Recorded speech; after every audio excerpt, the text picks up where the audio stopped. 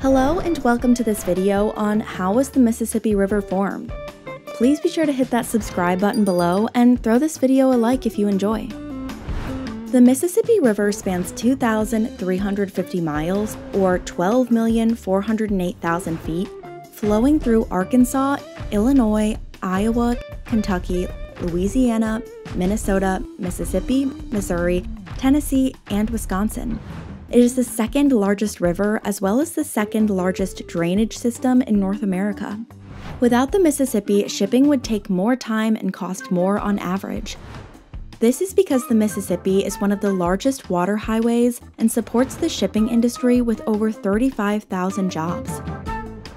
How was the Mississippi River formed?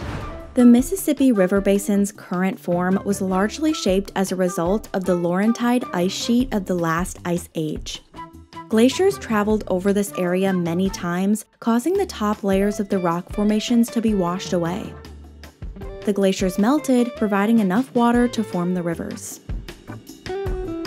When was the Mississippi River formed? It was previously believed that the Mississippi came into existence some 20 million years ago. However, in 2018, a team of SIU researchers led by Sally Potter McIntyre discovered evidence to prove that the river is many times older than this.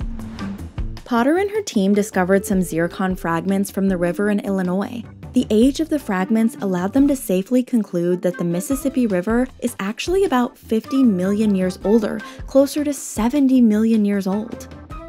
Is the Mississippi River natural or man made? Although the river was created naturally, as we have explained, humans have modified and tampered with it in many ways. A natural river is a natural watercourse that flows toward a sea, a lake, an ocean, or another river. The modifications carried out on the Mississippi River allow the river to suit our needs but change it in irreversible ways. How did Native Americans cross the Mississippi? The Native Americans traveled the Mississippi using boats. They followed paths through Mississippi, Arkansas, and Ohio rivers. Who first explored the Mississippi River? Jack Marquette and Louis Joliet are considered to be the first people to explore the Mississippi River and Valley. Jack Marquette, who was a French explorer, was the first person recorded to have explored the Mississippi River. Louis Joliet, on the other hand, was the first on record to explore the Mississippi Valley. How many people have swum the entire Mississippi? Only two people are recorded to have swum the Mississippi River. The first person to do it was Martin Strel. Strel is a Slovenian long distance swimmer who achieved this feat in 2002. The entire journey took him 68 days in a row. He started swimming on the 4th of July and ended his journey on the 9th of September, after he'd been swimming for a total of 68 days. Three years later, in 2005, an American Navy combat, Chris Ring, attempted the same feat. He was successful and became the first American and second person to swim the Mississippi. He completed his quest in 181 days. The Mississippi River and its significance. For centuries, the Mississippi River has been relevant to Americans and the rest of the world for many reasons. Here are some of our favorites. Mississippi is home to 25% of all fish species in North America. The northern parts of America are said to house more than 500 species of fish, 25% of which are found in the Mississippi alone. Mississippi's upper parts contain 100 species of fish at least. Mississippi is a water source for 18 million people. The Mississippi River provides water to millions of Americans. Minneapolis, Crystal, and New Hope cities, for example, get their water primarily from the Mississippi River. The water is taken from the river and moved to treatment plants. In these treatment plants, the water is purified and made ready for consumption. It is then stored in a tank and passed to various homes through pipelines. Without the Mississippi, many cities would have water supply problems. River Mississippi is the birthplace of water skiing. In 1922, Ralph Samuelson invented water skiing on Lake Pepin. Lake Pepin is a naturally occurring lake located in the Mississippi River at the border between Minnesota and Wisconsin.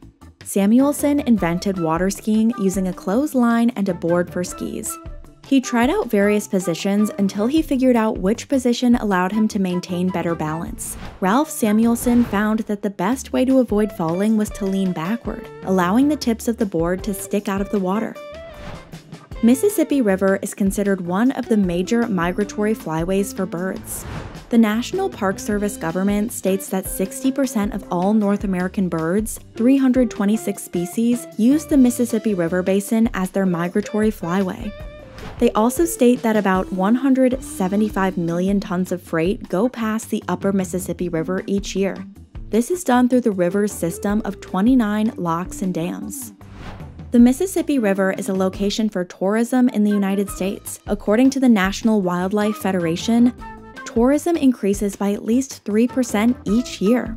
People visit the upper Mississippi for a plethora of reasons, including recreation, tourism, and even work. An approximated 12 million people visit for recreation each year. Final words. The Mississippi River is also called the Great River, hinting at its importance to America and the world. Considering the fact that the river is as old as dinosaurs, it needs all the help we can offer it to retain its natural features. One way you can help preserve the Mississippi is by planting native species and being on the lookout for invasive ones. Pollution is another major problem that the Mississippi and all rivers face. So, if you have a little time to spare, volunteer at your local river management center and do a little to reduce your impact on nature.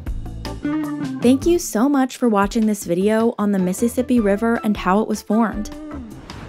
If you enjoyed, please be sure to leave a comment below. We'd love to hear from you. See you next time.